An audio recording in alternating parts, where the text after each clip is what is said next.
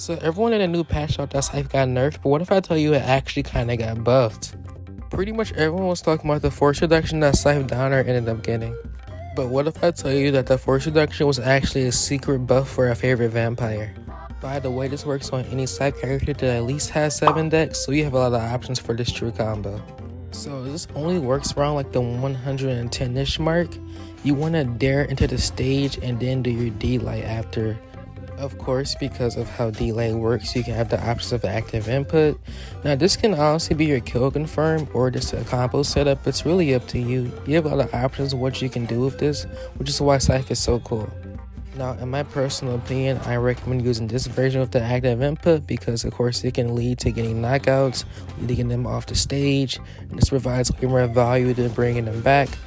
But that's pretty much it, guys. We are so close to 4K. Consider subscribing, and until next time, peace out.